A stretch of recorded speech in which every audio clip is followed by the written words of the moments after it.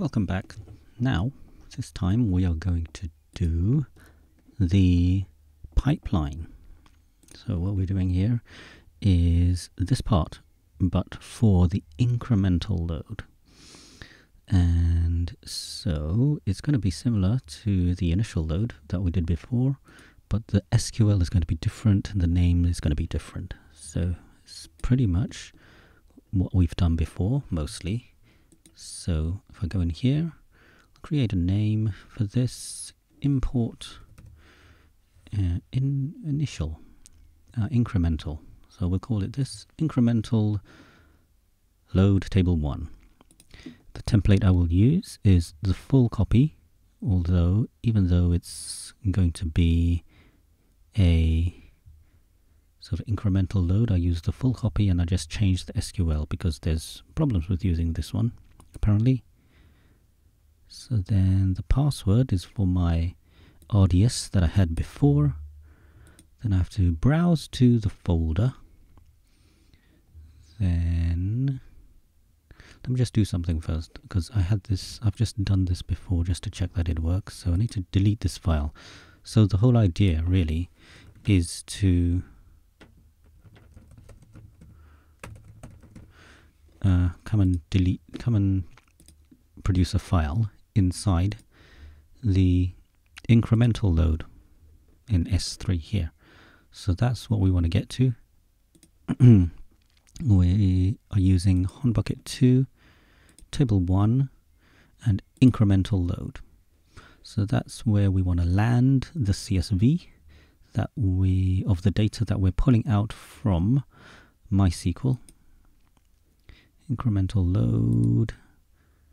And the username is admin. The table is table 1 and all of this stuff you can just leave. The instance is the instance of RDS is this one here called database 1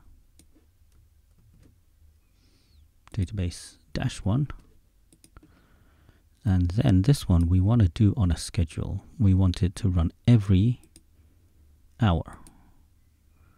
And just start at those times. Then we want it to disable logging never ends. And then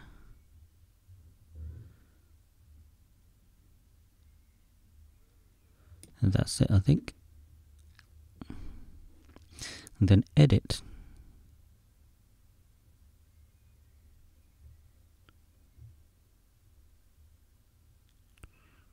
Hmm. Do I want this? No, I don't. Just leave it as default. And edit. And then go into the data node here and this is where we set the SQL here, the query, and then I have one that I prepared earlier.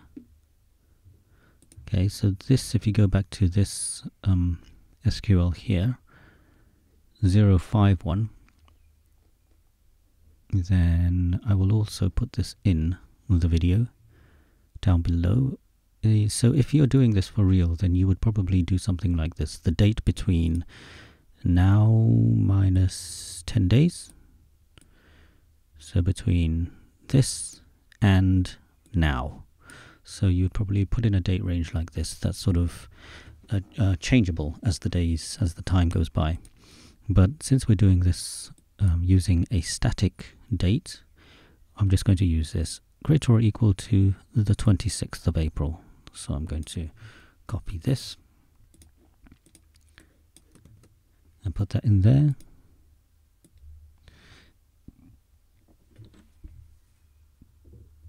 And then let's see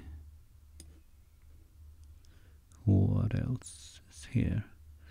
So in here you want to delete this and then get a file path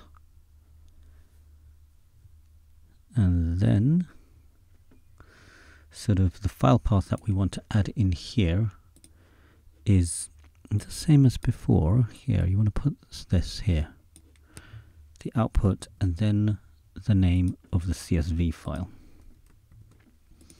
So another thing here to do is the other here.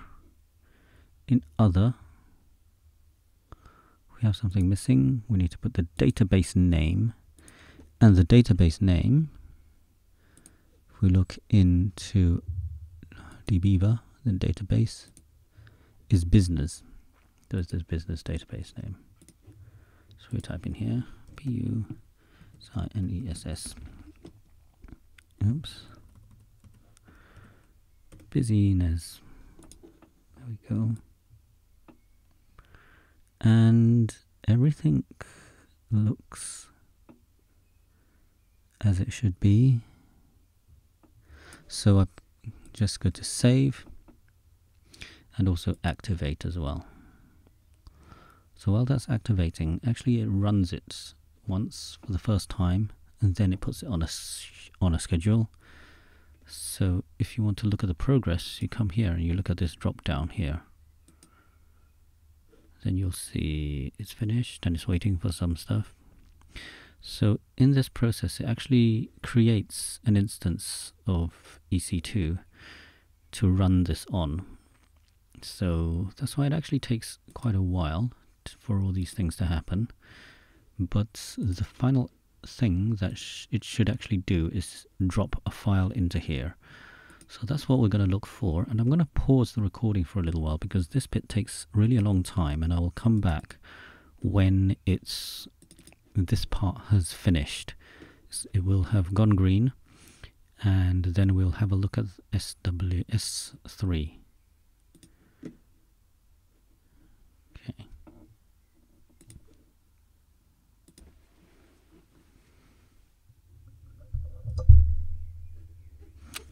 Okay, so it has gone through a few things, so that probably took about five or ten minutes, or less than ten minutes. So it's going through these things and it's shutting down now. Just refresh that, still shutting down. So it should have created a file in here, and it has done. And now I'm going to just have a look at this file. So just download it and just view it in a text editor. So we see it's the correct one. So it's getting 6 to 10. So that's our incremental load. That's great. So now what I'll do is just delete that. I'll leave that in S3. Come back to here because there's something I want to show you when this actually shuts down. So I might pause that recording while it's still shutting down. okay, now it's finished um, shutting down. We've, I've refreshed this and then it's all shut down now. So if you come back here, one level, then you'll see, so it ran once but now you can see the scheduled state for this one that we just created is scheduled to run once every one hour. So that's um, that means it's still going to, it's still sort of waiting. So that's fine, and that's exactly what we want. So that's just to show you that when you set this up, it runs it once and then it schedules it after that. So thank you very much for watching.